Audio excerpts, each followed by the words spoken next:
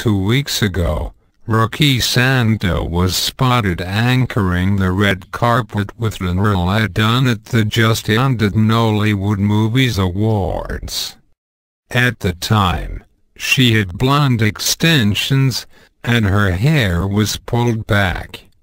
Days after, and she now has a curly blonde wig, which she expressed plans of wearing for the next three months.